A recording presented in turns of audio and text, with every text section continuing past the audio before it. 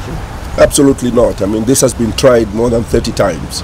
Uh, we have still emerged victorious. People have gone to the court to try to stop the convention. Um, there's no basis uh, to stop that convention. MMD President Nevers Mumba has declared there will be no postponement or restriction from taking place this Saturday's party's national convention ahead of August 12th. Dr. Mumba is not wary of any legal action that could be taken to prevent the convention from being held. First of all, it's a requirement by the, national constitution that every political party goes to a convention. So any Democrat will be happy uh, to, to know that political parties are going to uh, the convention. And um, uh, the Registrar of Societies uh, has been fully informed. She's really looking forward to the outcome of our convention. It's in writing, she wrote it to us, and she believes it's the right thing to do. Um, the courts have mandated us to proceed to ensure that um, uh, we have our convention as a way of ensuring that we start afresh moving into uh, the election and beyond. And, and Dr. Mumbas maintained only party members with good standing would take part in the convention. The convention is about people that are already in the structures. The entire National Executive Committee attends. Um, we have, uh, you know, uh, 14 coming from each Uh, province attending. Then we have 10 from every province, and then we have five from the, I mean, five from the districts and five from the constituencies. So it's it's really an in-house arrangement.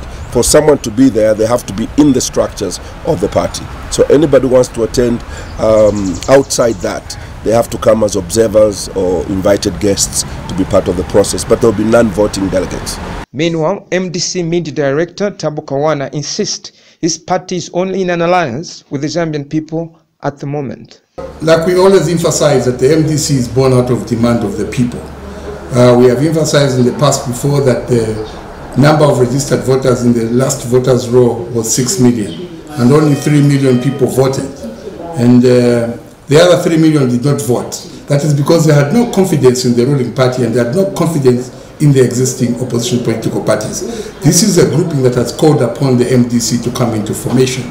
Therefore, the MDC draws its strength in the fact that it is a party demanded for by the people of Zambia, and we are ready to form government. And we can assure you that we are going to run in these elections. We are in no alliance with any other political party yet, and if need arises, we will inform the nation.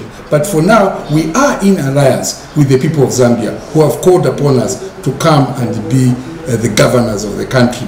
Mr. Kawana has also weighed in on what sort of gap Trevor Mumba, who held the position of chairperson for economics in the MDC, but who has now accepted the job with the European Union, has left. Of, of course, we will miss uh, the contributions of uh, Chairman uh, but we can rest assure you that the team in, in MDC, we are not short of human resource we have a lot of people that are of quality because what has happened is that the people of Zambia have identified that this is the political party that they want to be uh, associated with. Therefore, what you may want to term as cream de la cream of the country is within MDC. And therefore, we can rest assured the rest of the country that there is no shortage in terms of manpower, in terms of skill, and in terms of experience in the MDC. Mr. Smumba has been employed as EU senior expert on trade attached to the African Union.